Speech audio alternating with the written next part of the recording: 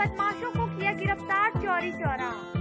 काफ़ी दिनों से फरार चल रहे अभियुक्त विशाल पुत्र खूबलाल चौहान निवासी जंगल रसूलपुर नंबर दो नेकवार थाना झंगहा जनपद गोरखपुर, सूरज गौड़, पुत्र राजू गौड़ निवासी लालापुर थाना जंगहा जनपद गोरखपुर। मुकुल यादव, पुत्र सुदामा यादव निवासी रामपुरा थाना जनपद गोरखपुर को गिरफ़्तार किया। अपराध संख्या एक सौ सात, बीस, तीन पच्चीस एक्ट जैसी धाराओं में जेल भेज दिया, जिनको पुलिस काफ़ी दिनों से तलाश कर रही पंजाब नेशनल बैंक शुक्रौली बाज़ार कुशीनगर के शाखा प्रबंधक राहुल कुमार सिंह ड्यूटी करके शनिवार शाम घर वापस जा रहे थे। चौरी चौरा थाना क्षेत्र के बिशंभरपुर और तिहा के पास जाते समय रास्ते में मनबड़ युवकों ने लाठी डंडे से उन पर हमला कर दिया। चौरी चौरा के नगर पंचायत मुंडेरा बाज़ार निवासी सुजीत कुमार जायसवाल की भोपा बाज़ार में नगर पंचायत रोड पर प्लास्टिक और पेपर से बने गिलास पत्तल और झाड़ू की दुकान है।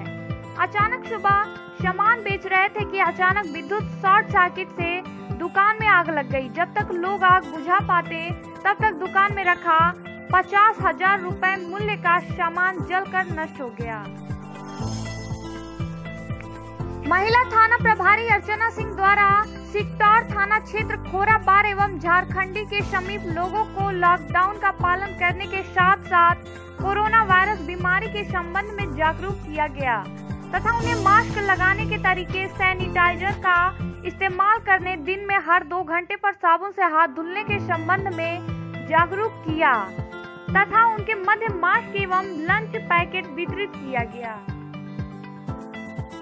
लॉकडाउन में थैलीसीमिया की मरीज़ गोरखपुर विश्वविद्यालय की छात्रा की मदद के लिए आज कांग्रेस के प्रदेश महासचिव विश्व विजय सिंह और दो कार्यकर्ता बादल चतुर्वेदी व मनीष सामने आए और गोरक्षनाथ चिकित्सालय जाकर तीन यूनिट रक्तदान किया। गोरखपुर क्षेत्र में बूंदाबूंदी होने से रविवार शाम को मौसम बदल गया। सुबह से दोपहर तक आसमान साफ़ रहा।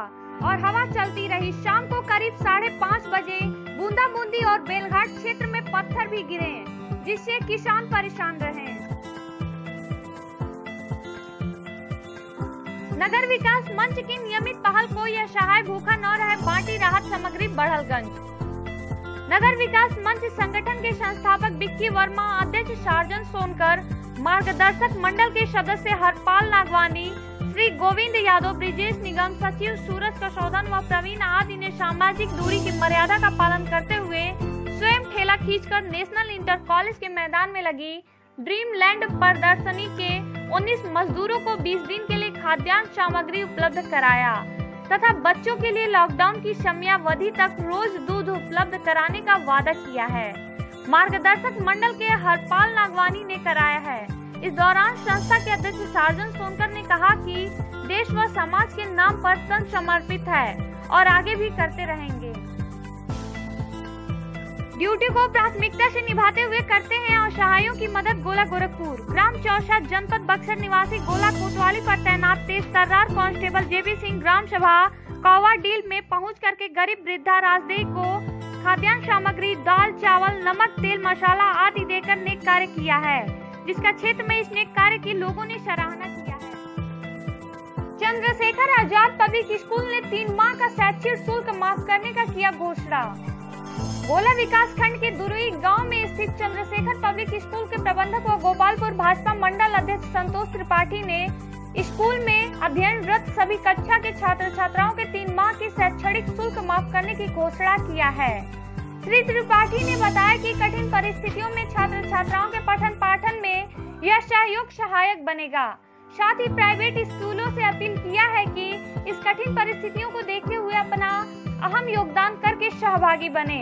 मौके पर पूर्व मंत्री राजेश त्रिपाठी, जिला संयोजक स्थानीय नगर निकाय शत्रुघ्न कसौधन नित्यानंद मिश्र, रतन प्रकाश दुबे, विनोद तिवारी, अनिल भट्ट, मंडल महामंत्री अमर मणि त्रिपाठी, सदानंद मझवार, नवनीत राय, देवेश निषाद दुबे मनोज तिवारी, संजय दुबे, सतेंद्र दुबे, अंजलि दुबे राधे कृष्ण दुबे, पवन दुबे, ममित शुक्ला, संजय राय, गौरव मिश्र, परसिया सहित इस पुनित कार्य के लिए लोगों ने सराहना करते हुए दिया बधाई।